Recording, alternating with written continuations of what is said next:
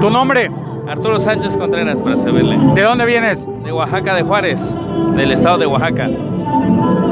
Exclusivamente al informe de gobierno. Exclusivamente a ver los resultados y a ver qué nos informan, porque pues es importante enterarse como sociedad y no ser apático. ¿Cuántos acarreados? No, pues no, no, no ha habido acarreados. Es gente voluntaria y creo que pues es una buena señal para el país de que vamos desarrollándonos. ¿Cómo ves ¿Cómo calificas del 1 al 10? ¿Qué calificación le das al presidente López Obrador?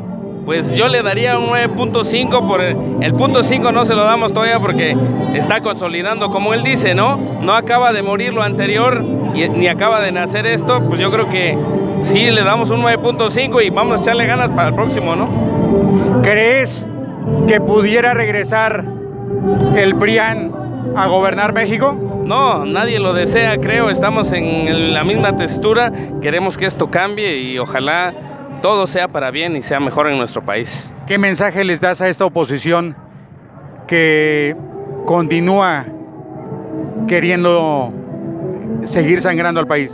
Pues yo les diría que pues ya se les acabó su turno, ya bailaron y que pues dejen bailar a los demás y que creo que es una nueva es una nueva etapa para nuestro país y que todo sea distinto ahora y que México llegue a ser una potencia porque tenemos la gente, tenemos los recursos y tenemos todo para salir adelante.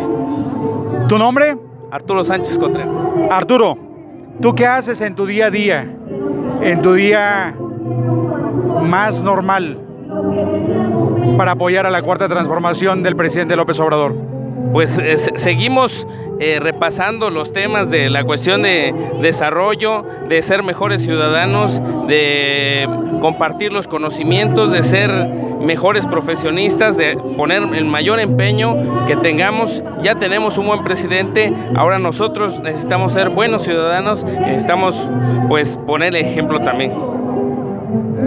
Hoy ¿Qué sabor te deja haber viajado varios cientos de kilómetros desde Oaxaca a la Ciudad de México? ¿Cómo regresas a tu Oaxaca querido? Pues fortalecido y con mucho ánimo de seguir trabajando, seguir esforzándonos y viendo el horizonte de México que va amaneciendo mejor. ¿Qué opinas de Sin Censura y de los medios alternativos? Me parece que son medios eficaces, eficientes y, precisamente es una alternativa para que la gente pueda expresarse y pueda eh, tener una mejor comunicación y, y, bueno, ya estamos hartos de los medios tradicionales que siempre han manipulado la información a su gusto o, a su, o al antojo del poder. Ante este proyecto del presidente López Obrador con ponerle internet a México en, en, todo el espacio, en todo el territorio.